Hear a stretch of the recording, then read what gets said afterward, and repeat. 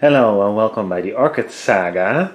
Today we have another checkup video day and this time it's um, time to do the Oncidiums and types. So I uh, will get straight to it because we have quite some plans to uh, check on and uh, well uh, we will have a look at all of them and uh, like I said we will check the reservoirs. And we start off this uh, section of checking the reservoirs with my uh, Cherry Baby, my Oncidium, that's the first one, fairly big one. And she's doing fine, she has three new growths, one here, here and one here. And um, yeah, quite some roots, but also some older roots. So this one could do uh, with a uh, refreshing pot-wise, I think. Um, and the new growths are starting to put out a lot of new roots, so probably in the near future it would be a good time to do a uh, uppotting, repotting, just to check what's inside, because I see some uh, older roots and also some uh, newer roots, but just to freshen up the pot. She did well, she had a pH of 6.7, so I did a, give it a little bit of calcium just to get it above the 7 again. Parts per million were 137, so uh, that was a, a fine, perfect actually. So uh, this one is good to go again. Here's my Sotoan. And this one had a pH of 6.6, uh, so I did a bit of calcium in it, in the reservoir, calcium powder, and it had, had a parts per million reading of uh, 87. So that uh, was perfectly fine. And we have a pot filled with roots on this one. Well, I'm dripping all over the place, but uh, as you can see they are really coming out of the pot and really everywhere so uh, and uh, I did some maintenance on it. I cut off uh, about five spikes that were done. We have still two that uh, we can enjoy but uh, yeah this is my Sotoanum and it's doing uh, fairly well. And this is my yellow twinkle the biggest twinkle I have and it's starting uh, to getting in bloom. It has some few, it has quite some spikes, and I didn't repot this uh, that long ago, but we I still already see some roots on the outside of the pot, so it's uh, it's uh, doing well. It looks great, I think, and it had a pH of 7.2, so uh, it didn't need any calcium, and the parts per million were 132.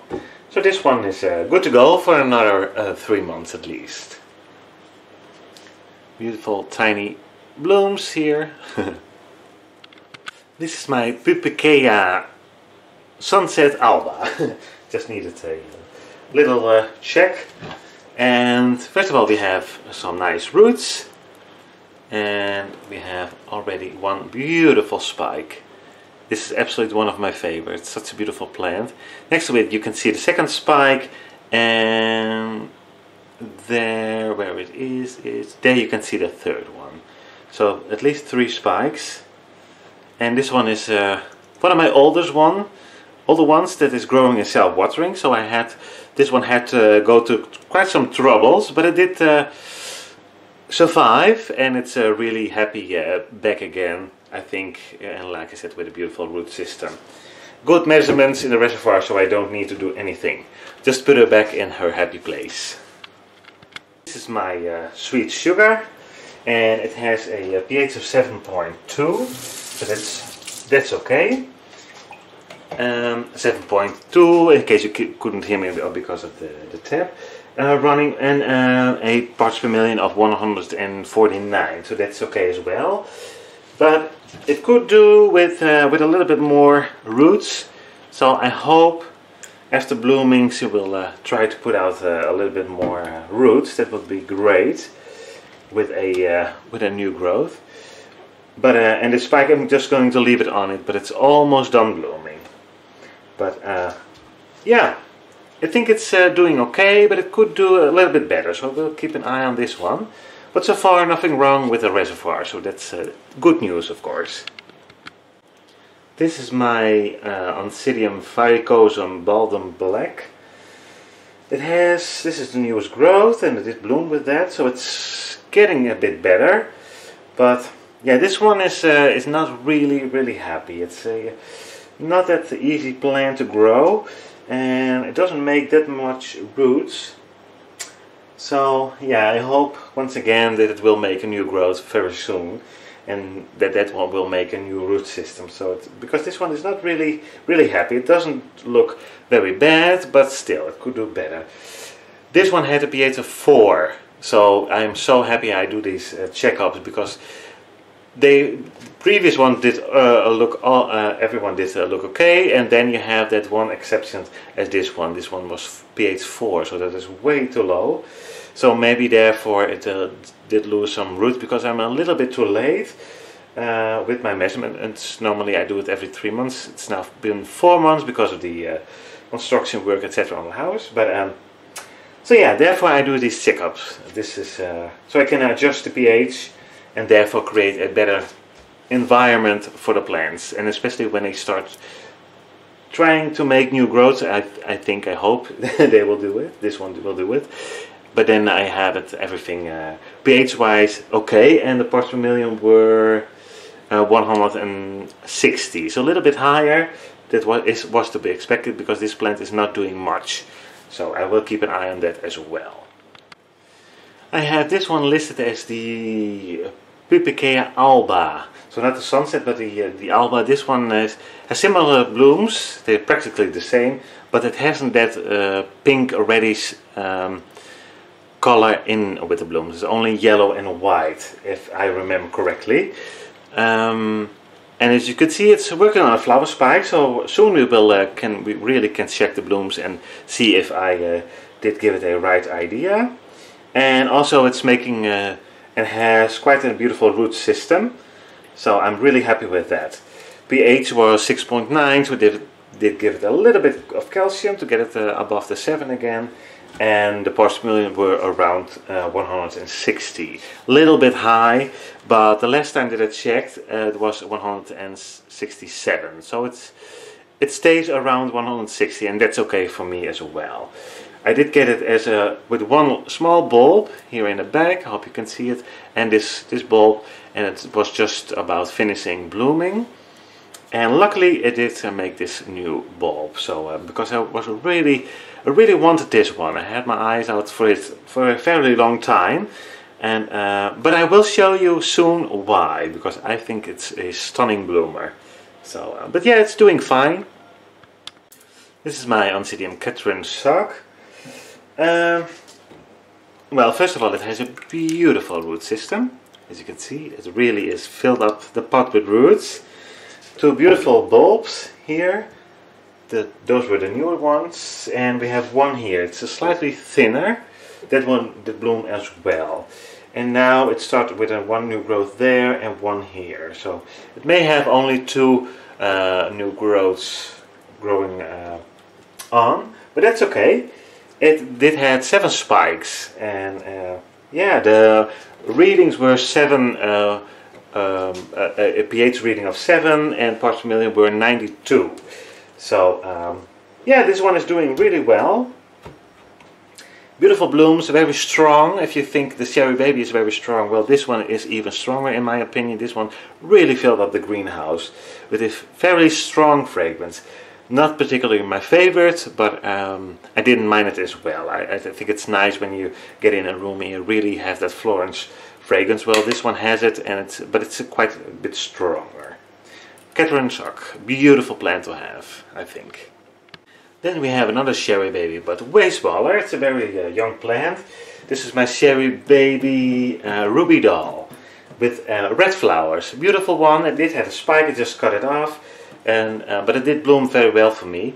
Um, it has a bit of yellow leaves, so I need to keep an eye on that. But uh, the bulb is not as tall, but it's way bigger, so I think it's doing well. And it's currently working on this new growth here. It has also beautiful roots in the pot, quite quite a uh, quite an amount of roots, so that's uh, very good, obviously.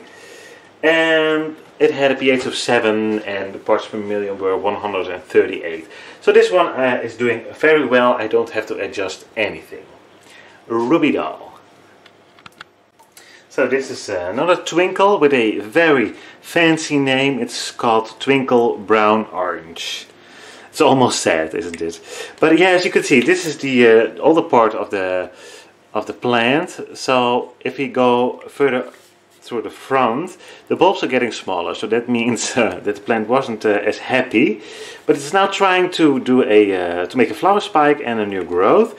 And we have some healthy roots, finally. I did struggle with it uh, so much, especially with my twinkles. But now when I do these measurements, since uh, since then I really see uh, root growth starting, new growths that do mature and they really start to getting into uh, growing into self-watering. But the pH has to be at a, a right range, um, preferably um, between 6 and 7, but not uh, under 5.5. Uh, but um, yeah, they, these, these really do hate uh, a very low pH. Some orchids can take it for a while, but these guys really hate it. So you lose the roots quite quickly.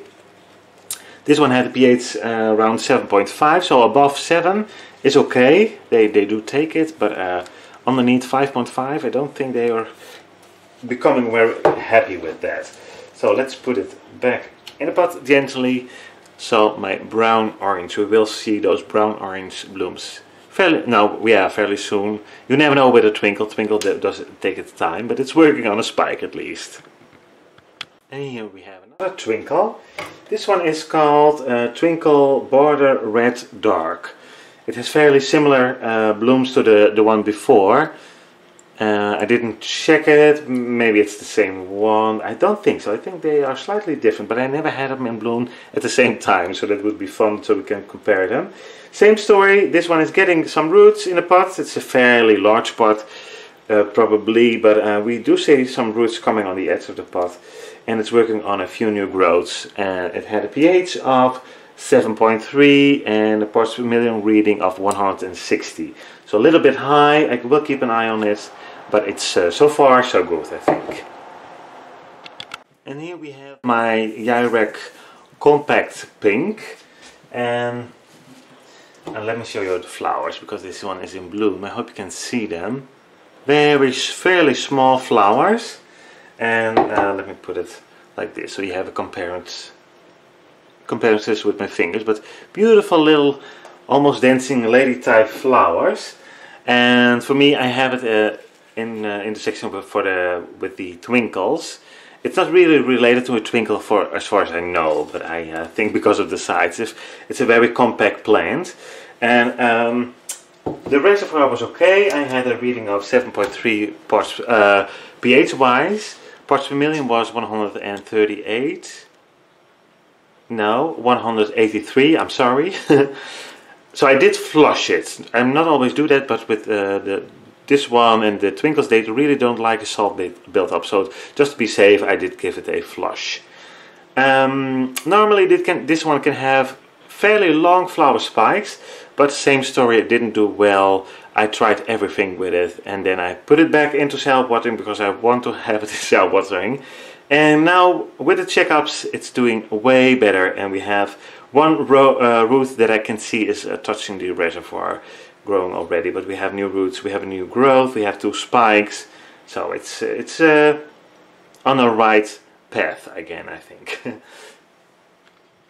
and my last twinkle is the uh, Twinkle Shane Tsai Choi Tsai Delight, something like that. I did try my best, but this one has the most beautiful root system of them all. I think it's beautiful. I really, really love it. Beautiful. I wish they were all like this, but this one did take off. Again, in self-watering pretty, uh, pretty good, as we can see. Same story, it didn't do so well, but then, uh, then I changed my way of growing. I checked the reservoirs every three months, and it's really, really beneficial, as you can see. I did cut off two spikes, but it's also working on two new ones as well. So, um, this really looks like the Red Fantasy. I'm not sure if those are the same, but this is the tag that I have for it. So I should have looked looked it up. I didn't do it for this video, but um, in the near future because the blooms are uh, really uh, similar to the Red Fantasy. But and it's uh, also working on a new growth already here, and also in flower. It had a pH of 7.07 and 160 parts per million so it's doing okay nothing to do for me here further so it can go back to her place. This is my uh, Oncidium George, yeah, yeah, George Verbonen, if I'm correct. George, George Verbonen? George Verbonen? Let me see. No, George. I'm sorry, I, I thought it was George, but I have it with a G, with a J, not a G, I'm sorry, in my notes. But anyhow, George Verbonen. I'm sorry. I know this one I was surprised when I took it out of the pots a few videos back when I did a greenhouse update I didn't have a well exit a few months back but look at this how many beautiful healthy roots crazy it's it's uh, in uh, pumice with Cintiq and it, apparently it really really loves it it had a pH of 7.1 and a parts reading of 160 so once again, I had some twinkles that hadn't that many roots. Had also a few of them had a reading of 160. This one has a lot of roots, has also a reading of 160. I mention that because don't get fooled. It's not always means that an orchid is eating more if it has more roots or it has more bulbs. And that is why I like these testings, these tests, I'm sorry, these uh, tests that I do. Because I know, I, I've if I didn't do those tests, I thought, well, I can give this more fertilizer because it has a lot of roots, it's really eating, it's working on two new growths, as you probably already saw. Nonetheless, because it's uh, it doesn't need probably that much fertilizer at uh, at least at this moment, because otherwise it would take it uh, as the other orchids do that will need it. So um, yeah, I think it's nice to know. Don't overfeed them. If you think they are doing so well, you want to give them more and more. No, not necessary. Just uh, if you have self-watering, I would suggest you do those checkups as well. It gives you so much more information. So, okay. Enough said, this is a beautiful, happy plant and uh, it didn't decide to make flower spikes, but instead some new growth. And it's a fairly young plant, so I'm really happy with that. Just do make those new growths and the blooms will come when it's time. George Verbonen. And this is my Oncidium Speckled Spire Snowflake. And it has a beautiful uh, root system in the pot. We have quite a lot of roots here as well. And some here, so it's doing fairly well. We have a new growth here, one here and even one there. So three new growths. It's a very young plant. And it has also some aphids I don't know if you can see it, so I need to give this a spray. I currently uh, have a uh, aphid infestation on my plants, so I'm not really happy with that. But yeah, yeah, I need to deal with them. But anyhow, this plant is, uh, besides the aphids, doing very well. It's growing very well. It had a pH reading of 7.2, as it has the last one. Three months ago, it had, uh, almost four months ago, it had also a reading of 7.2. So that stays the same, and the parts per million are now 101. So this one is beautiful. Uh, eating as well and growing. So it's uh, doing fairly well. This is a Oncidium hybrid of some sort. It does says uh, hybrid in North America on the tag, so I'm not pretty sure what is the exact name. Maybe it doesn't have a, a name uh, yet, but um, while I try to get this name tag back, um, it's finally starting to grow a uh, root in the pot and we have a new growth that is finally starting. This one didn't do much for, for a while now, but it's coming back to life and the bulb is not shriveled too much, I think, so that's okay. And this new growth is uh, growing. I also had some aphids on this one this new growth as well. It had um, a pH reading of 7.2 parts per million 124, so it's doing fine. Nothing to do here for me, so it can go back into the greenhouse. And this is my Oncidium Iris Mist. Uh, for those who live in Europe and maybe in America, but this one is fairly hard to find. I see it in Australia for sale more often.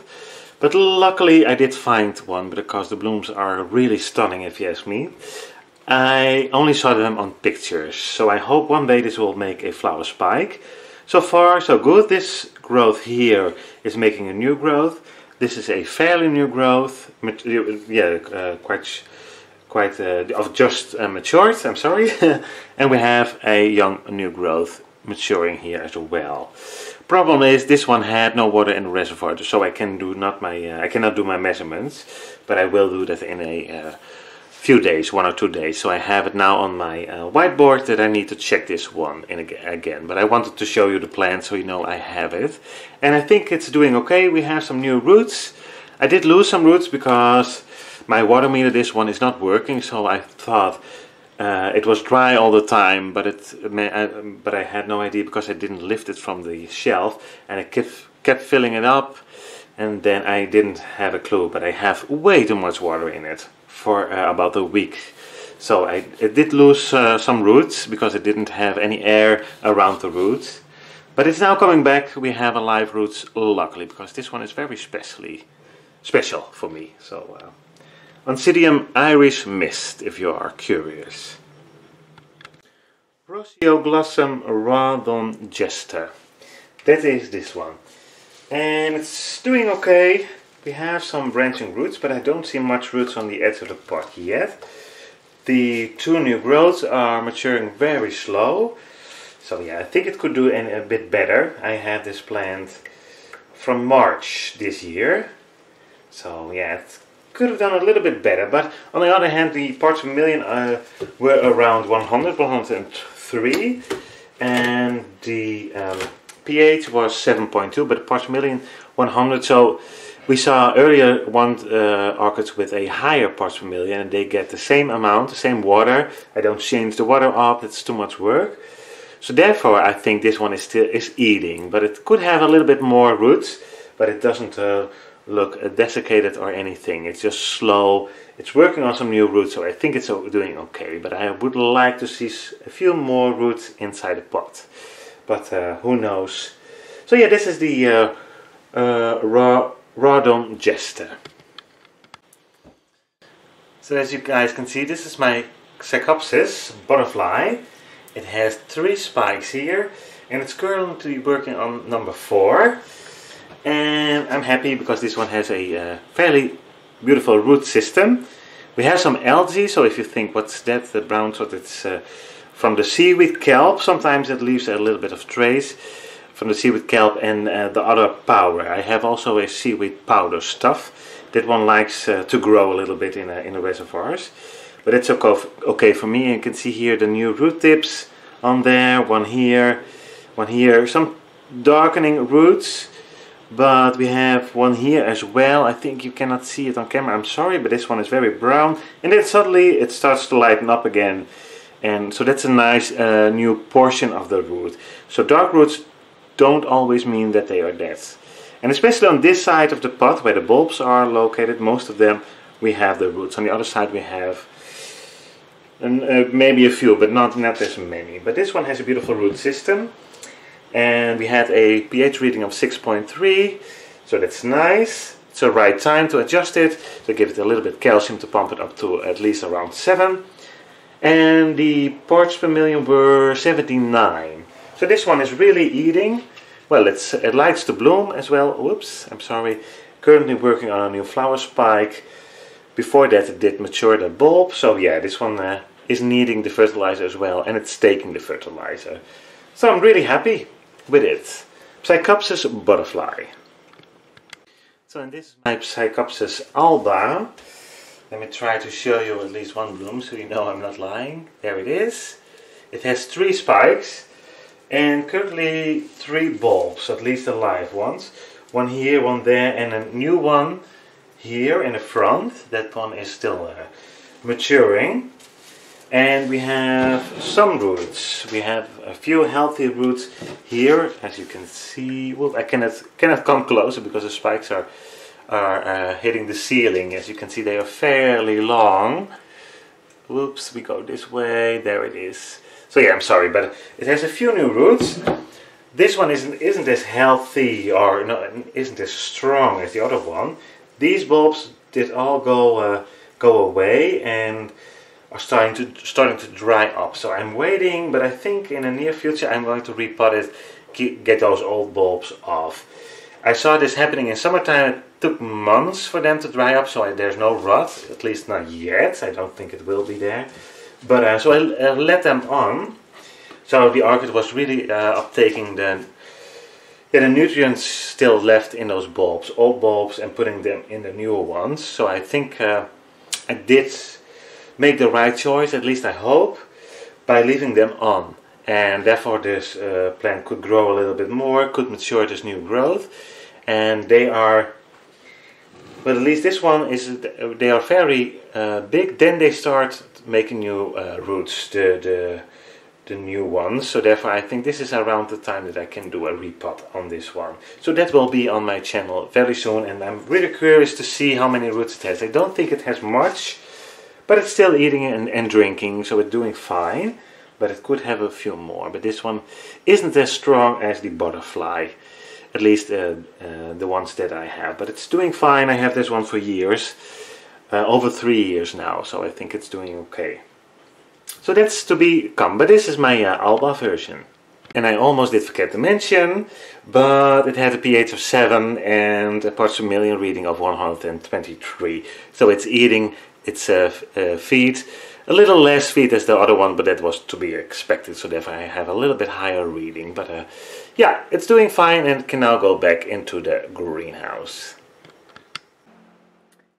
And I apologize a little bit for this uh, brutally interruption, but my uh, video is way too long.